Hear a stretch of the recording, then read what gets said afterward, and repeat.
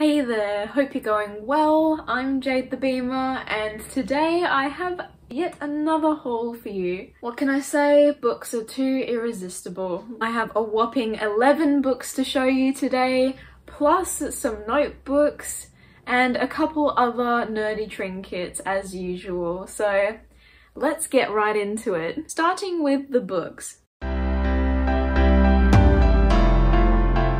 I always try and shop secondhand. The books are usually cheaper and it means that we're recycling, books aren't going to waste, they're not getting thrown out, and they're not just sitting on someone's shelf being unread. Because we don't have that many unread books, do we? so the first book I have to show you is one that I got as a blind date with a book. So it was wrapped up and it had a description on the front, and I thought it sounded okay so I unwrapped it and was pleasantly surprised. I've gotten some books blindly before that I just wasn't interested in and they usually end up circulating back into donation piles but this one I was very happy with and that is Even Cowgirls Get the Blues by Tom Robbins.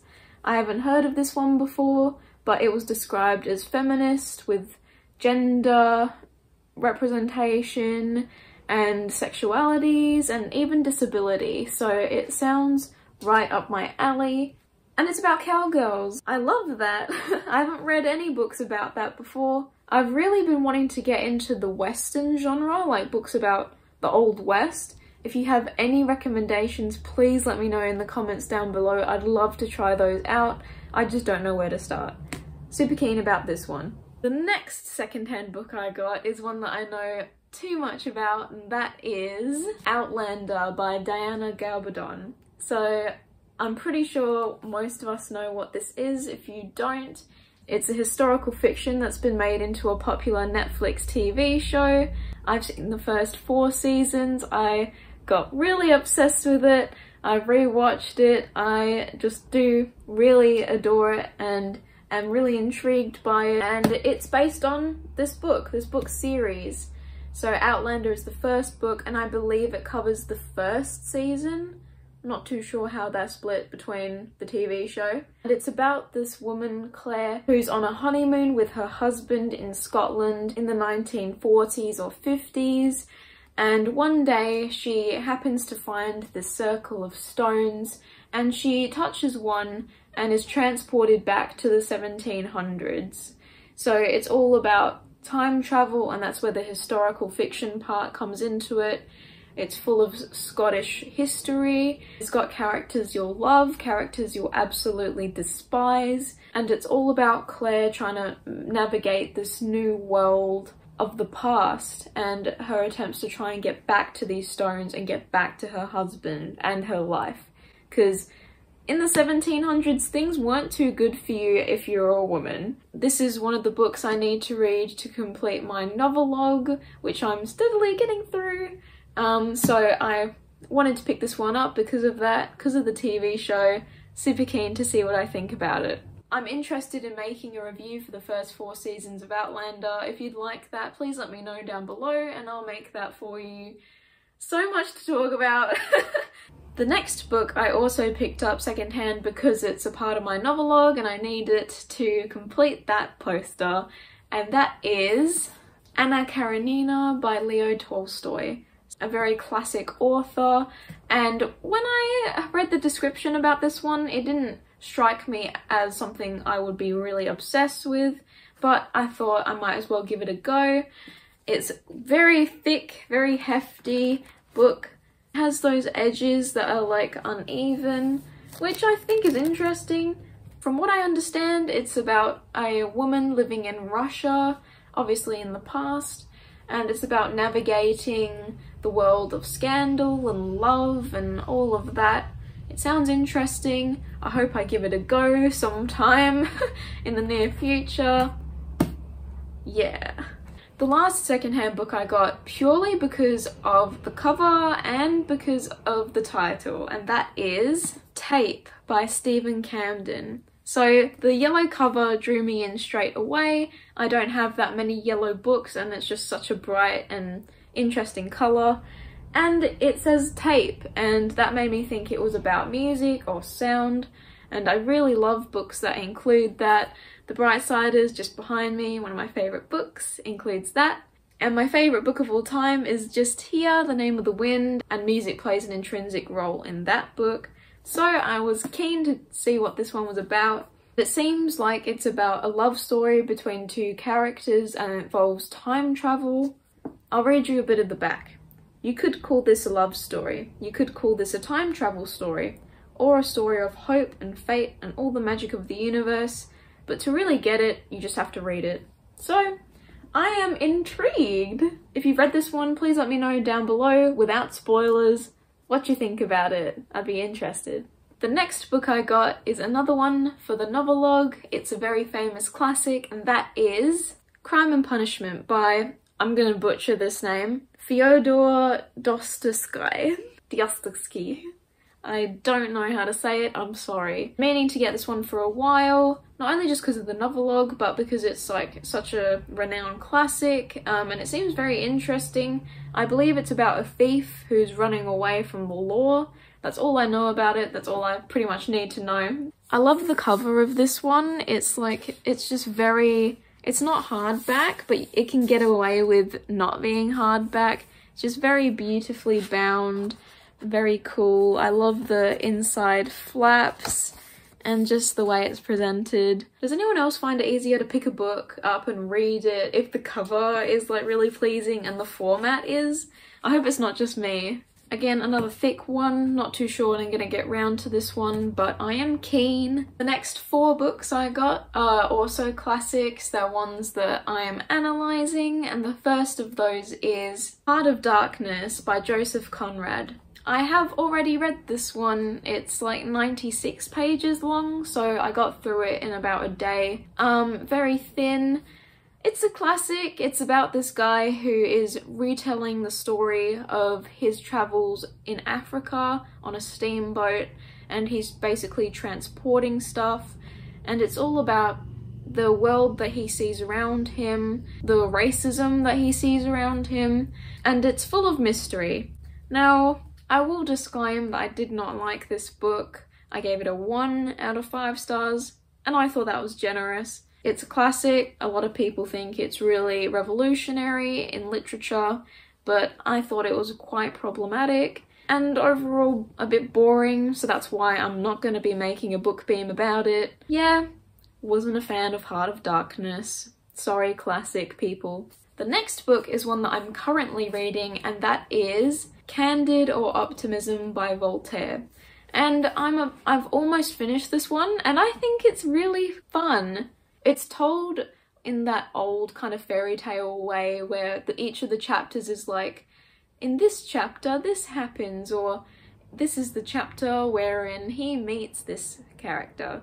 And I just think that's so like fairy tale-esque and comedic it's about this innocent guy. Protagonist Candid had this philosopher teacher called Pangloss and he basically told him that everything is as it should be and despite all of the horrible things that Candid and the other characters encounter in this book, he still tries to hang on to this notion of optimism. As the plot continues, we see his philosophies change slightly. He takes on the advice of other characters and it's all about him trying to figure out why is the world the way it is? Why is it so bad? And what do I do about it? Again, a very short one, also I think 96 pages, but this one I would recommend. I will warn you, it does not treat its characters well. There are heavy themes in here, so if you're sensitive to those darker topics, then I wouldn't recommend this one. The next book I picked up is Orlando by Virginia Woolf, and I think everybody has heard of Virginia Woolf. I haven't read any of her stuff yet.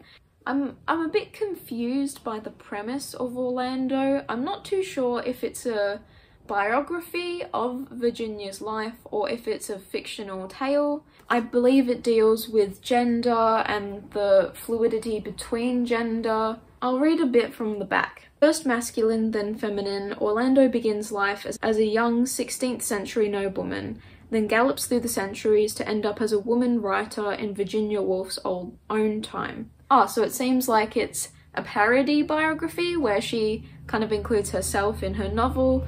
And that's cool. Orlando is gender fluid or trans. That's so cool. I'm excited to get into this one. Is it perhaps linked to Shakespeare's play As You Like It? I've read that one and there is a character called Orlando and that play mucks around with the concepts of gender and romance and everything. I wonder if they're linked.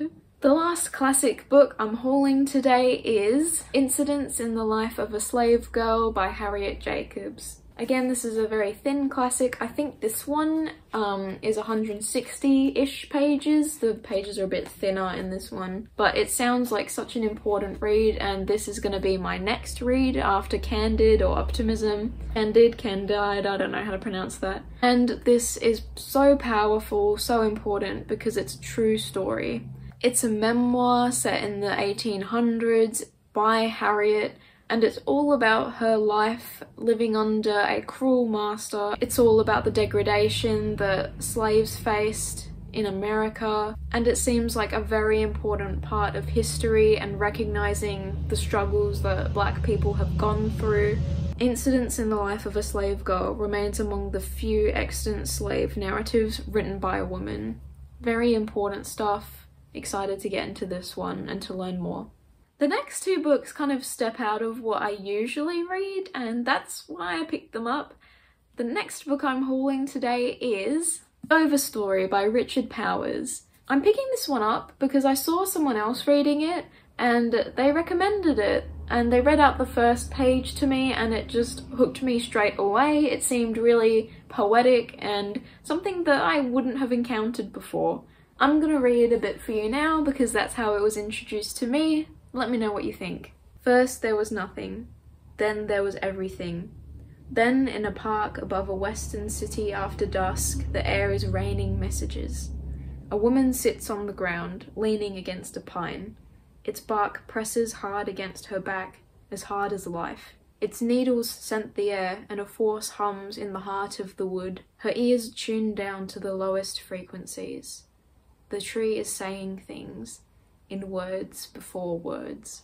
I don't know about you, but that sounds pretty freaking cool to me. I have not read a book about trees before and I love nature, I love trees and this sounds so cool. Trees having history and trying to speak and apparently it's good because it's won an award so I am so keen to try this one out. It seems very different to what I usually read and that's fine with me.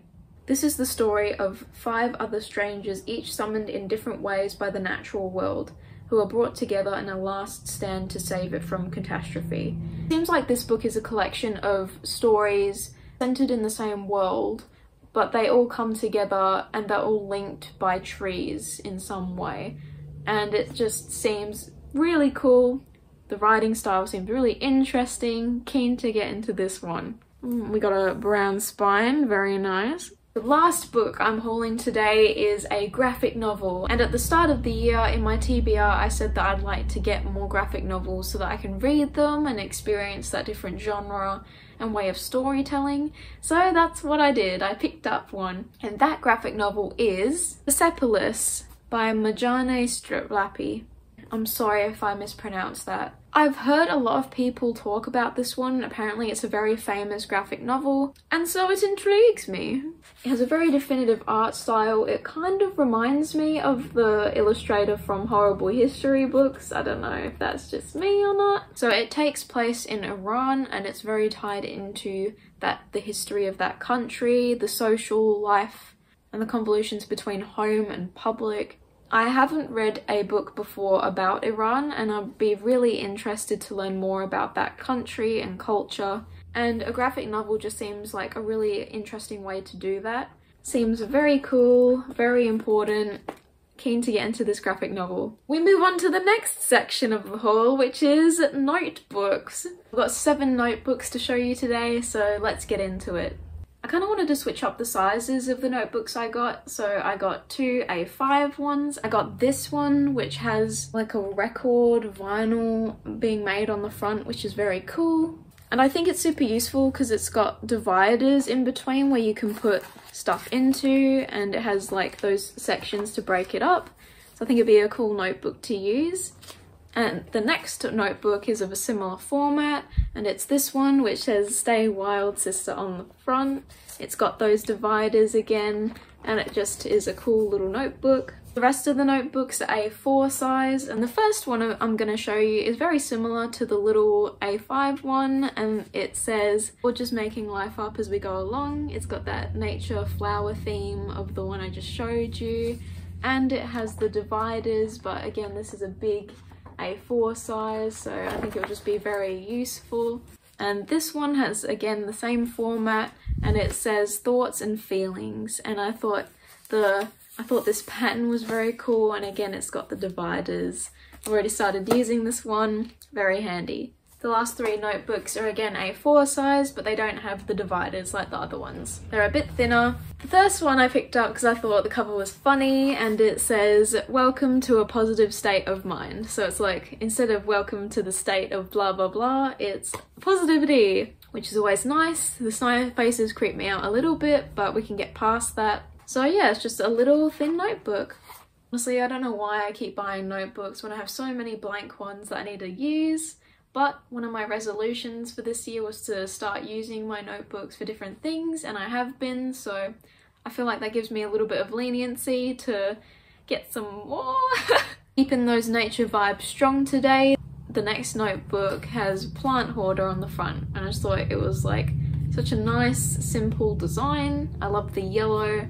I think it will be a cool little notebook to use. And the last notebook I have to show you today is this one and I just thought it was really cool. I like the bold colours and I guess that matches the bold themes on here. Just protesters for equal rights and the environment, which I think are very important topics. So important stuff is going to go in here and I think that's really cool.